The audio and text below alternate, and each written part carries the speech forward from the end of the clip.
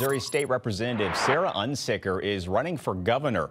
The Democrat from Shrewsbury was stripped from her committee assignments and was expelled from the state Democratic caucus last month. This comes after Unsicker posted a photo with a far right influencer. She also dropped out of the race for Missouri Attorney General last month. So Unsicker joining fellow Democratic state rep Crystal Quade, Breckenridge Hills Councilwoman Sheryl Gladney, and Mike Hamra, a Springfield businessman on the Democratic ticket.